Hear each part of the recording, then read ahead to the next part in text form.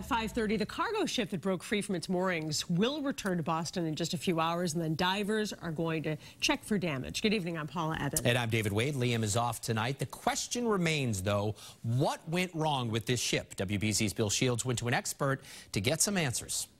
Mass Maritime's training ship, the Kennedy, is almost 600 feet long, and at its berth, thick lines secure it to the dock. Lines at the bow, the stern, and in the middle.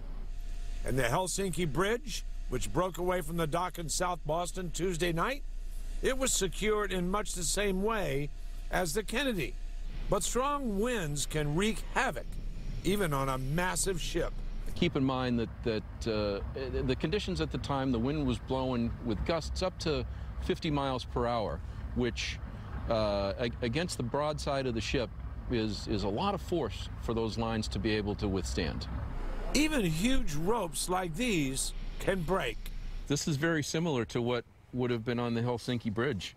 You can sort of picture from this angle uh, the lines at the bow starting to fail and just sequentially sort of working their way down the ship. The Helsinki Bridge is 1,100 feet long and was stacked high with metal containers. It was like a giant sail in 50 mile an hour winds. The mooring lines were under tremendous strain, and uh, at, at some point, the forces that were being exerted against the ship were more than those mooring lines could withstand.